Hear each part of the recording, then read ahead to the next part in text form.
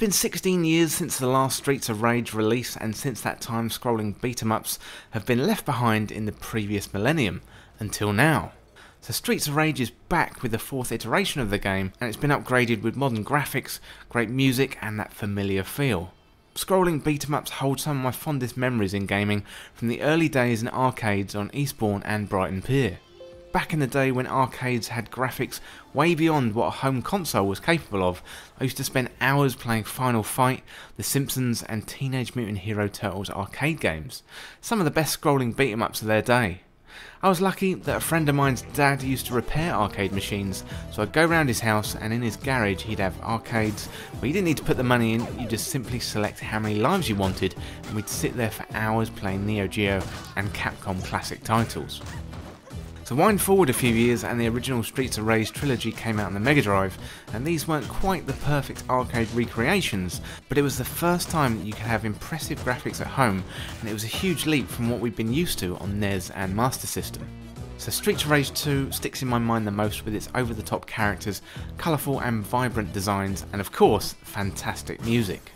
Streets of Rage series didn't make it out of the 90s and the genre has since pretty much died out, with games becoming more complex, engaging and, uh, to be honest, a lot more fun these days. Streets of Rage 4 comes onto the scene in 2020 looking to inject new life into the beat 'em up genre and dealing heavily in the currency of nostalgia. I wish I could have a look at the game through the eyes of someone who's never played these games back in the 90s to see if they truly hold up today.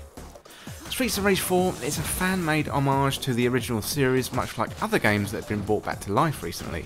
So nostalgia is doing really well right now with other big 90s series coming out in 2020. Streets of Rage 4 is quite unique though as it tackles a style of game that's faded away almost completely in the AAA space.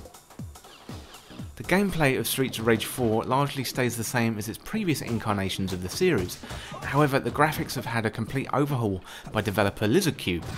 They're the ones who took on another 90s classic previously with Wonder Boy, a game that Game Gear fans will remember. The artwork is cel shaded, colourful and looks like a comic book that you can control. It really brings the action to life.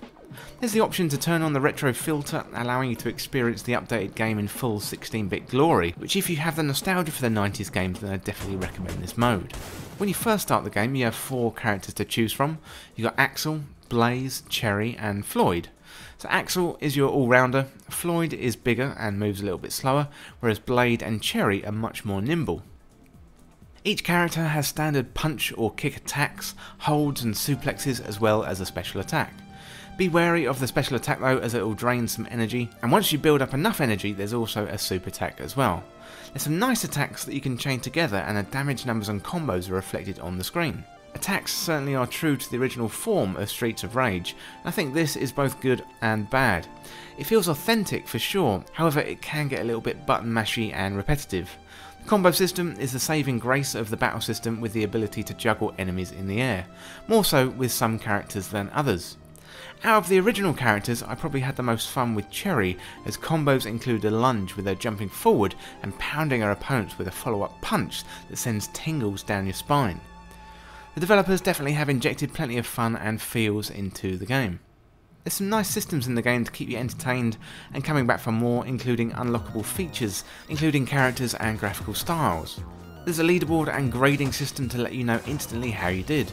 There's a classic story mode which isn't too long, in the region of a few hours or so, and once you finish the story you can unlock other game modes such as Stage Select, Arcade, Boss Rush and Battle Mode. As well as the graphical upgrades, the soundtrack is awesome too. Some of the original components are back, including Yuzo Koshiro and Motohiro Kawashima, to produce fantastic pieces of music to accompany the action. Lizardcube worked with Guard Crush, another studio that have dipped their toes into scrolling beat 'em up genre before with something called Streets of Fury. So Guard Crush has taken good elements from the past and updated them to feel modern, applying a nice layer of polish on what could have been a below average game. Streets of Rage 4 can be played through in single player mode, however the classic co-op mode is back. This time there's online matchmaking allowing you to team up with other players and this is a really really nice addition. Back in the day with another player on arcades this was great fun and that was brought into the living room with console gaming. So the addition of online play is great and it's also pretty straightforward. Overall, Streets of Rage 4 is a nostalgic trip down memory lane, so scrolling beat 'em ups have almost completely disappeared from modern gaming, so this is a nice reminder of those times. Whether it stands up on its own is another story against many other great titles that are vying for your time these days. I did have fun with it though, and I played it on Xbox Game Pass on PC, part of my monthly subscription there. I was thinking when I was playing it, I don't know if I'd be happy if I paid full price for the game, as I don't think it's going to have too much longevity for me. For fans of the genre, this is most likely the best it's going to get on modern consoles, and it's a wonderful trip down memory lane. So the game comes from Lizardcube and Guard Crush. It's available on PS4, Switch, Xbox One and PC and was originally released on April the 30th, 2020. And I gave the game a final score of 72 out of 100.